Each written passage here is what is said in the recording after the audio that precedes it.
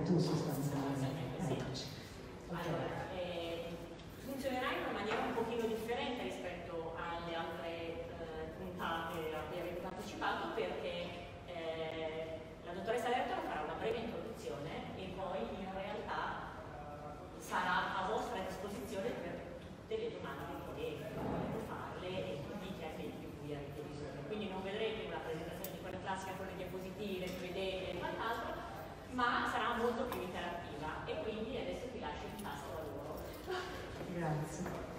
E in pasto la dietologa ci sta, eh? Ci sta. Vuole l'archetto, vuole il gelato. Il gelato, assolutamente. Allora, buonasera. Eh, appunto sono Carla Lentola, sono un medico specialista in scienza dell'alimentazione e, e quindi sono una dietologa.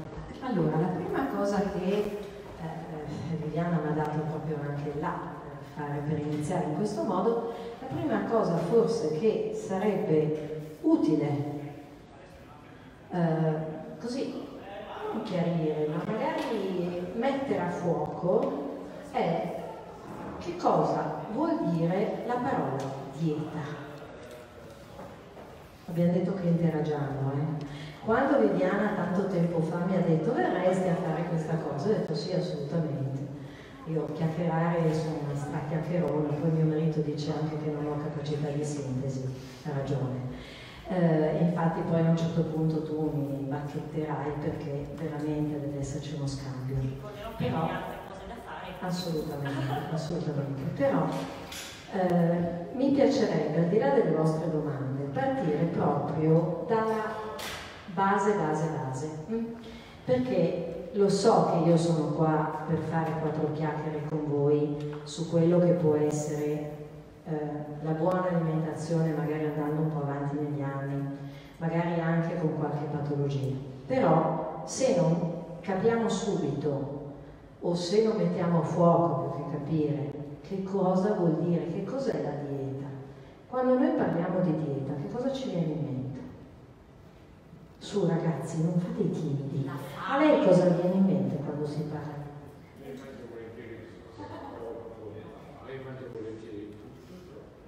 Allora, il tutto va benissimo. Quando io, e questo vale veramente per tutti, eh? poi vi faccio un esempio dove magari non vale, ma è l'unico esempio in cui non vale questo. Allora, eh, questa risposta non è proprio cosa vuol dire la parola dieta, ma è un po' cosa vuol dire alimentarsi correttamente. E va bene nella prima parte, il mangiare di tutto.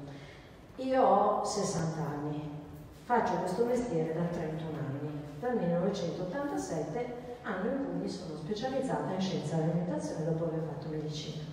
Io devo dire che non c'è stato un giorno della mia vita lavorativa dove io non abbia alla fine dato ragione a mia nonna, che dietologa non era, hm, ma che mi diceva quando ero una ragazzina, poi noi eravamo una famiglia di donne, a me e alle mie sorelle, Carla, mangiare di tutto, però mi diceva anche poco, allora tanto di tutto, a parte che poi bisognerebbe anche capire cos'è il tanto.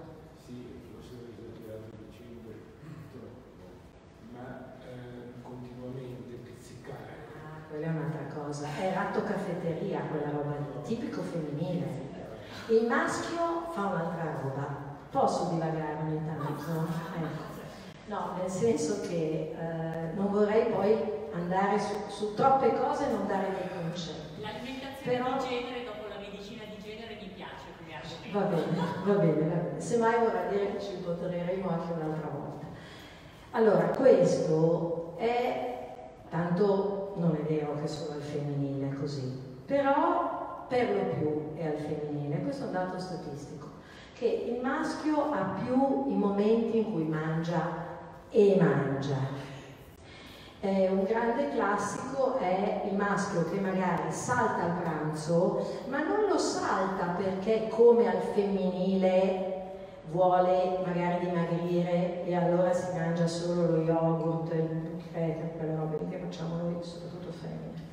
Maschio salta proprio perché magari non si rende nemmeno conto di avere fame, no? Eh, lavora, va avanti a lavorare. In compenso poi quando si siede a tavola, la grande festa, eh? mangia come se non ci fosse un domani. La femmina tende a fare una roba diversa, tende a fare, noi lo chiamiamo in gergo il ratto caffetteria, cioè il ratto che opportunamente stimolato spiluzzica quella. Mm? Eh, questo è un po' un problema. Questo è un problema un po' sempre.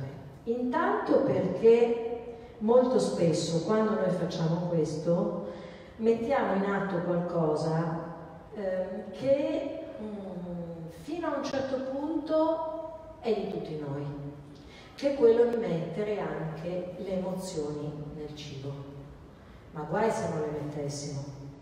Tenete presente che mamma natura questo lo vuole, perché noi mangiamo, ci alimentiamo in maniera in teoria libera, in teoria perché poi se lo facciamo troppo non va bene, ma siamo programmati per mangiare in maniera libera il più gradevole possibile perché il cibo deve attrarci. Perché? Perché il cibo è vita, senza cibo si muore. Però è anche vero che il cibo è una grande relazione e l'atto di alimentarci è il primo contatto che abbiamo col mondo. Ed è la relazione che inizia con noi e finisce con noi. Nessun matrimonio dura così tanto come quello col cibo. Ed è una relazione che può essere sana o meno, ma noi la riconosciamo e la condividiamo, eh? un grande classico, no? In tutte le occasioni. Noi la condividiamo perché la riconosciamo come nostra. E allora quello che noi proviamo nei confronti del cibo, molto spesso, il più delle volte, ed è normale questo, lo riconosciamo anche negli altri. Quando noi facciamo un po' quelli che spiluzzicano, il più delle volte lo facciamo anche non solo perché quella cosa lì è buona e l'apprezziamo, ma perché magari o non abbiamo altro da fare, classico degli studenti, no? di chi sta tanto in casa, e allora mettiamo un po' di noia in quello, un po' di vuoto in quello, un po' di quello che mm, non so cosa fare, poi abbiamo anche le pubblicità. Adesso non ci sono più eh, quelle pubblicità che facevano Ambrogio voglia di qualcosa di buono. Adesso vanno su altri temi. Ma a solo mangiare quei cioccolatini lì, quei cioccolatini lì. Oppure noi eh, mangiamo per altri sentimenti, più delle volte sono sentimenti che ci spingono fortemente verso il cibo, mm? l'ansia, la rabbia, eccetera. Quindi bisogna un po' capire questo continuare a mangiucchiare se è qualcosa che io faccio perché comunque veramente sto apprezzando quell'alimento lì, perché magari che ne so, ho in casa una magnifica torta che ho tagliato tutta a pezzettini perché così ne mangio un pezzettino, ma poi me la mangio tutta. E quello mi succede perché magari quella torta lì è una sacra meravigliosa che arriva da, da Vienna e allora ecco che, ma se è qualcosa che io faccio continuativamente magari non mi porta tanto buono.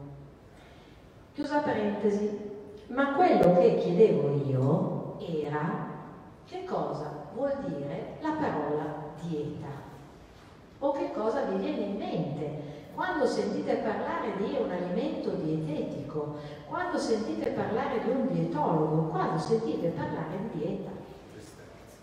Tristezza infinita. Non mica vero, mica vero, mica vero. Poi vi leggo una cosa. No, se... c'è una cultura dietro. Certo, c'è una cultura dietro che vuole che la parola dieta, che non significa assolutamente neanche solo mangiare. Allora, Che però di solito è abbinato a seguire un regime alimentare che ti affama, cioè eh, Mm. eh, prendi quella Eh, accezione ma lì. se io chiedessi a te cosa vuol dire la parola dieta? Dal greco antico diaita, che significa la parola dieta? Oh, ok. Eh, ce, ne facciamo, ce ne facciamo 5 o 6. Ce ne facciamo 5 o 6 di queste chiacchierate, tanto io lo so che tu mi vuoi. Allora, va bene, va bene. Allora ci daremo un appuntamento perché così almeno eh, per il dopo estate, ve lo dico già, compiti a casa, lo do innanzitutto a voi ragazzi. Dire la parola dieta? Allora, dieta significa stile di vita. Ma nessuno ha fatto classico qui. Sì, adesso lo faccio. La parola dieta, la parola dieta, andatevelo a vedere, eh? dal greco antico dieta significa stile di vita. Quindi capite che quando noi usiamo questa parola, no? Non la usiamo mai in senso proprio. Perché? Perché vuol dire, stile di vita vuol dire, primo, non devo fumare. Perché? Perché eh, per quanto io faccio il medico, prima ancora di essere specialista in scienza alimentazione sono un medico, mi ammazza di più la sigaretta e la patata fritta. Eh? Anche se non sto dicendo che le patate fritte male facciano bene, attenzione, ma sicuramente fumare fa male. Punto. Non c'è nessun motivo per cui fumare faccia bene. Mangiare in maniera corretta, e io sono qua per raccontarvi questo, e adesso entro nel discorso, ma significa anche muoversi. Quindi, di fatto, questa parola riunisce in sé quello che è uno buon stile di vita. In realtà dal greco dieta significa stile di vita, potrebbe essere anche una schifezza e sarebbe lo stesso, invece noi ci attacchiamo il fare le cose per bene. Quindi vedete che dobbiamo subito mettere a fuoco come già proprio nell'etimologia della parola ci stia un concetto di salute. No? Mi muovo, non fumo, non fumo quindi anche cerco di vivere in un ambiente meno inquinato possibile perché poi il discorso si può allargare. Io ci aggiungo anche mi stresso fino a un certo punto, cioè devo cercare anche di avere un equilibrio in tutto quello che sono gli aspetti, questi e non della mia vita, e mangio in maniera corretta. Ok, quindi chiarito questo, sappiate che tutte le volte che direte mi metto a dieta dovete fare i conti anche con la Viviana Guizzardi che vi dice come muovermi, col cardiologo che vi dice di tagliare le sigarette e via discorrendo. Ok, detto questo, che idea avete su che cosa sia proprio la base, la cosa che vi viene in mente sul mangiare in maniera corretta, sana, che mi porti buono. Che cosa? Tutti, eh? Tutti quanti. Frutta e verdura. Vegetariano. Mm. Brava Shura. È vero che lei spizzica, però è anche vero che mangia di tutto. Brava Shura. Anch'io, a voi ci scambiamo qualche ricetta. Guardate, io amo cucinare più della vita mia, è una cosa che mi piace. Io mi scambio le ricette via Whatsapp o via Facebook o via um, mail con i miei pazienti e trovo che sia veramente bellissimo, bellissimo. Ok, eh, mangiare vegetariano che cosa vuol dire? Frutta, verdura, cereali integrali e poi la carne no? Legumi? Mm. frutta secca, Mm? latte di tipo soia, di avena, Mm. fiocchi di avena, Mm. tutte queste Ok, cose. va bene. Quando E sono poi? uscita per le prime volte nelle sue mani io ero vegetariana. Ah. Sono uscita dal tuo studio piangente.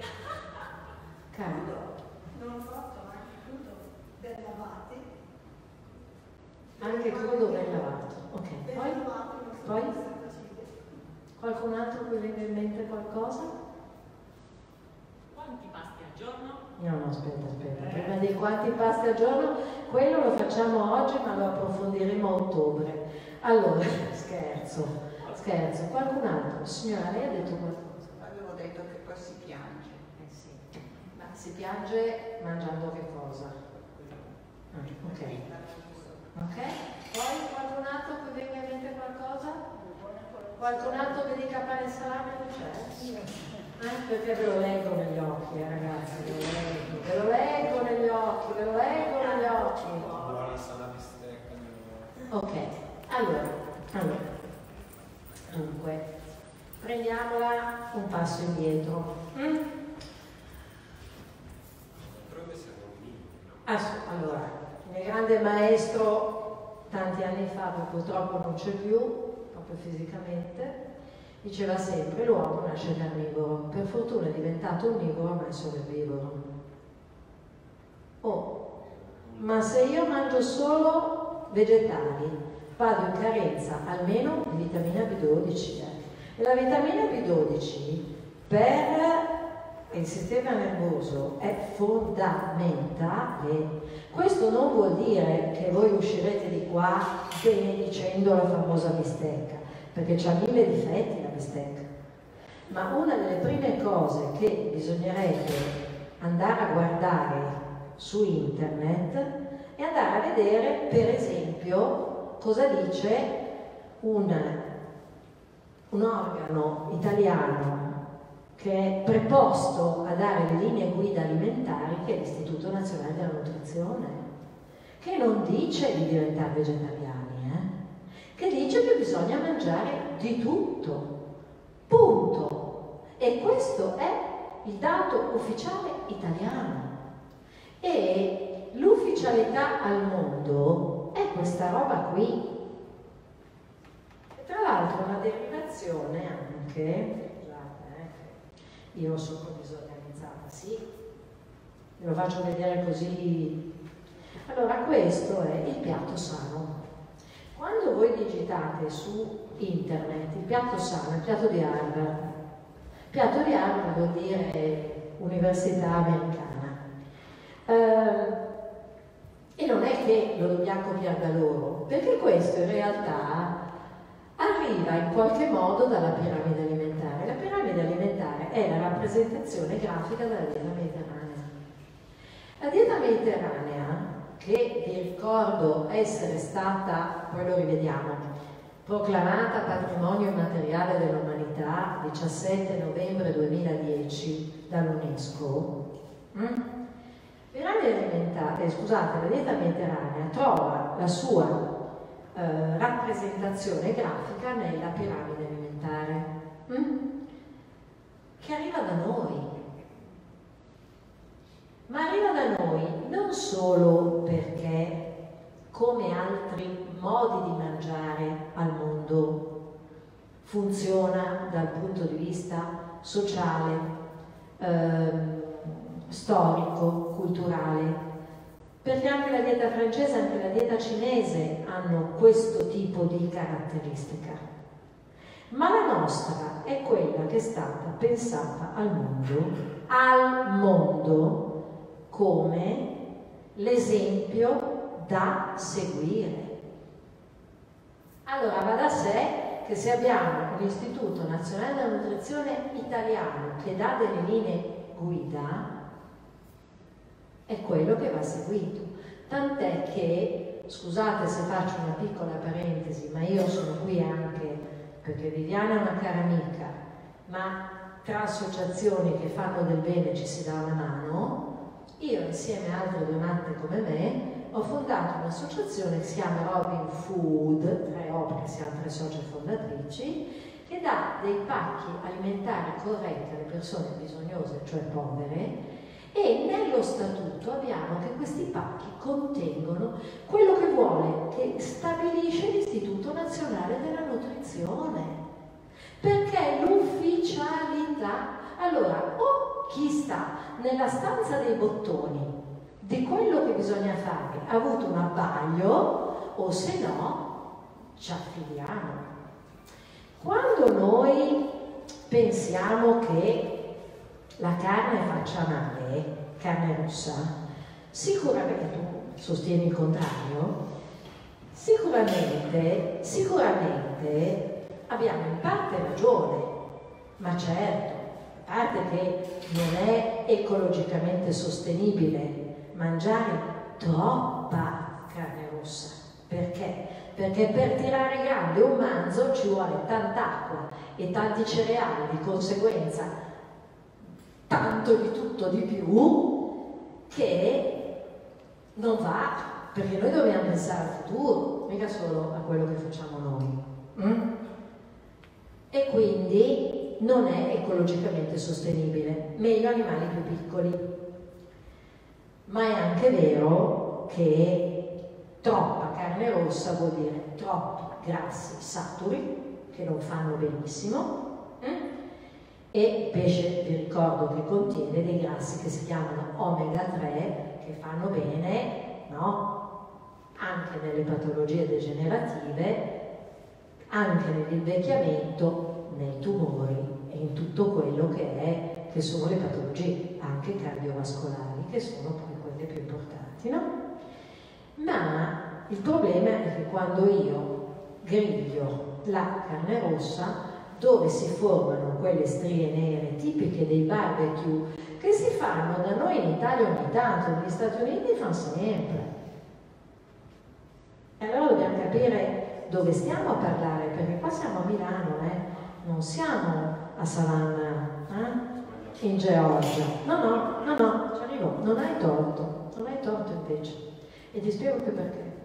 Allora, quando noi grigliamo, cosa facciamo? Quelle strie nere sono, eh, bruciano, cioè la carne bruciata e la carne bruciata eh, dove si formano queste strie c'è il 3,4 benzopirene, che è una sostanza fortemente tossica e cancerogena.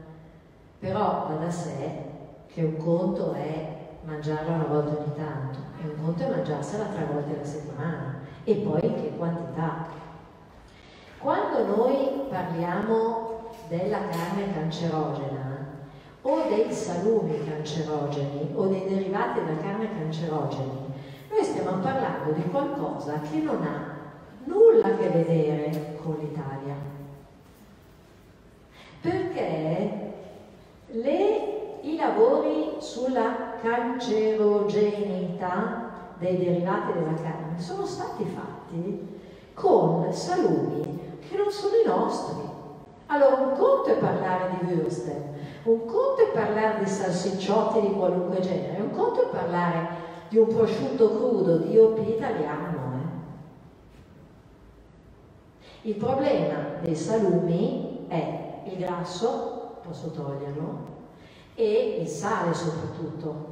Quindi non verrebbe mai in mente a nessun dietologo, non solo quelli che ti quel dietologo o comunque medico, ditemi voi chi, no? Non verrebbe mai in mente a nessuno di esortare al consumo no? di grandi quantità di salumi, un po' perché quasi tutti i salumi hanno un minimo di conservanti e un po', perché il problema della conservazione indubbiamente c'è, e un po' per il sale che contengono. Per cui tutto voglio fuorché che voi ve ne andiate a casa pensando che la Lertola esortato a mangiare salumi a go. Non è questo il concetto.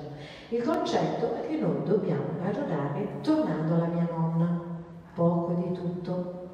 Una cosa che non si dice della dieta mediterranea è che la dieta mediterranea si basa su porzioni parche quando noi diciamo altro tasto dolente, quando noi diciamo il formaggio solo eh, a basso contenuto di grassi e il meno possibile, stiamo dicendo una mezza bugia o una mezza verità.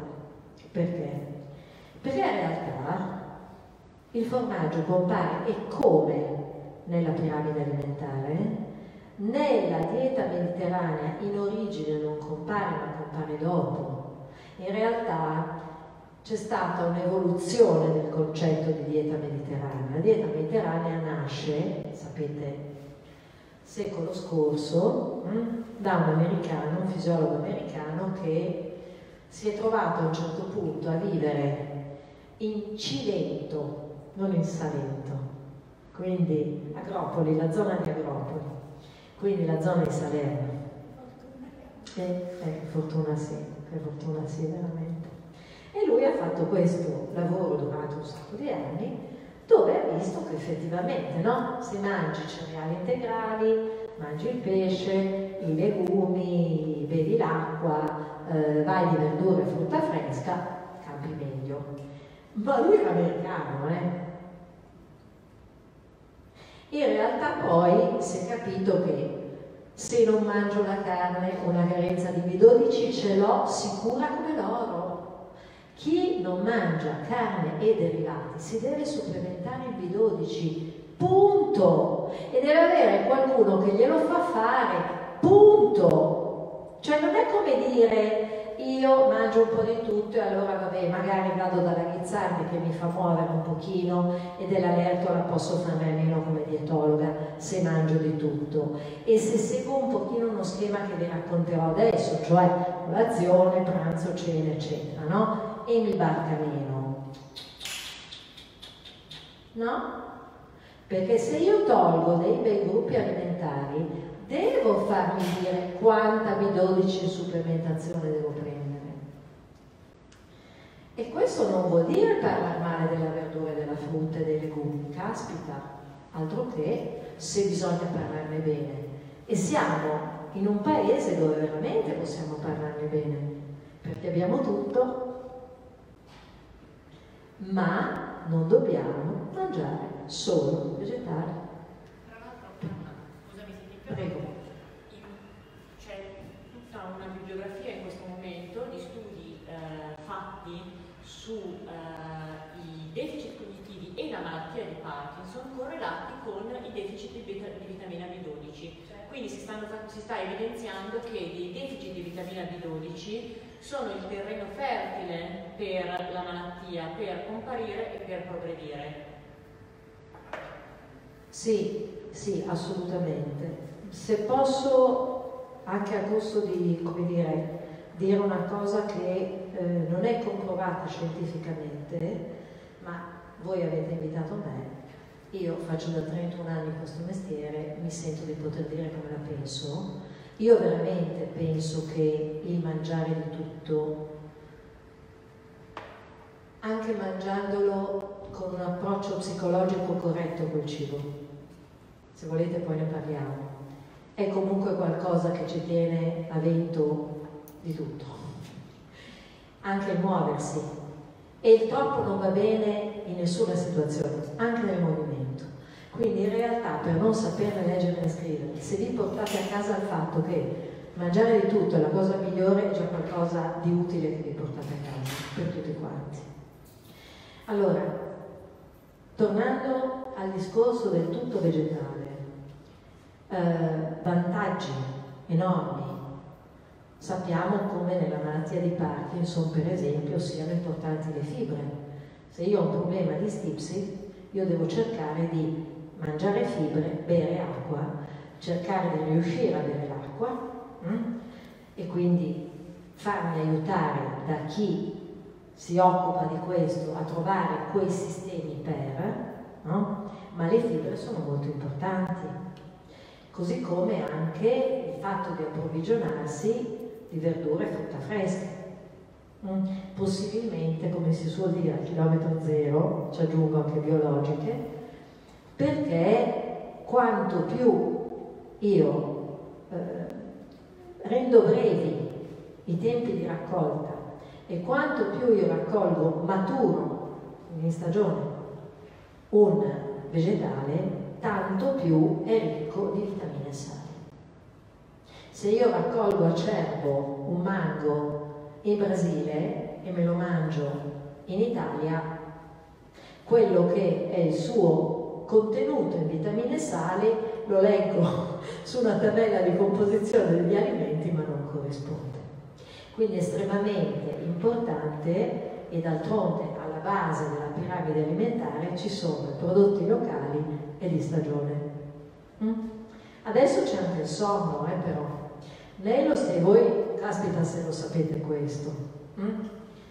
Io dico sempre che io sono una candidata ideale, come tanti come, come, come tanti personaggi, sono una candidata ideale ad Alzheimer perché io ho sempre sofferto un po' di insonnia e adesso, anche perché faccio tante cose, dormo 5 ore per notte. Il dormire tanto serve, perché come, ed è, e serve così tanto, ed è così vera che la parola dieta, torniamo sempre, significa stile di vita, che adesso andatevela a vedere. Lo digitate su internet, lo trovate, la piramide alimentare, lo vedete, no? Alla base c'è il movimento e adesso c'è anche il sonno, perché si è scoperto che il sonno serve veramente e serve soprattutto alle patologie degenerative. Quindi è estremamente importante creare delle situazioni, per esempio, in cui si dorme bene. Creare delle situazioni in cui si dorme bene vuol dire anche mangiare bene, perché se io non mi alimento in maniera corretta, il più delle volte ho un sonno disturbato. Oltretutto sono in grandissimo aumento per tutti le patologie, per esempio del reflusso gastrico, Mm, e anche chi soffre delle patologie, diciamo, degli anziani spesso ce l'ha e anche lì va gestito molto bene il modo di mangiare. Lo stare su porzioni parche è importantissimo perché vuol dire riuscire a mangiare di tutto in quantità tali A da non impattare troppo sulla ciccia, mm? non mettere troppo peso e B anche riuscire ad avere un apparato gastroenterico ben performante. Ok, allora tirando un attimo le fila di questa di, di questo prima tornata di informazioni, dieta vuol dire stile di vita, anche sonno, oltre a quello che abbiamo detto. Vuol dire mangiare di tutto, in quantità corrette. Guardate che quando l'Istituto Nazionale della Nutrizione dice mangiare di tutto in quantità corrette, non significa che mi faccio le fiorentine così. Un quantitativo di carne poi dipende dal soggetto a soggetto, ma è 120 grammi, eh? è un hamburgerino, è un pezzettino di petto di pollo, non è. Quando parliamo di pesce, 150 grammi, che è un antipasto al ristorante non è un branzino lungo così o un fettone di, di, di, di salmone alto così. Quando noi diciamo alimentiamoci correttamente e magari preferiamo i formaggi freschi, una volta si parlava di formaggi grassi, semigrassi e magri. Poi a un certo punto, ancora oggi si, si classificano così, però è diventato più comodo parlare per esempio di formaggi freschi e di formaggi stagionati, perché è intuitivo. Formaggio fresco è quel formaggio eh, che, derivato fresco del latte che ha una data di scadenza relativamente recente, no? Il formaggio stagionato è o duro, parmigiano, sbrinz, pecorino, eccetera, o puzzone, gorgonzola, tareggio, quelle robe. Così avete la definizione. Cosa dice l'Istituto Nazionale della Nutrizione come porzione? 100 grammi se fresco, tant'è che le aziende, eh, in questo caso va bene, ci semplificano la vita, mica dobbiamo sempre paragionare. Cosa fanno? Eh? Hanno fatto le porzioni così, la ricottina è da 100 grammi, cioè, il, lo stracchino può essere da 100 grammi, il, ehm, la mozzarella una volta la mozzarella in busta era 125, adesso ce n'è da 100. Mm? Ok, 50 grammi se o duro o puzzone.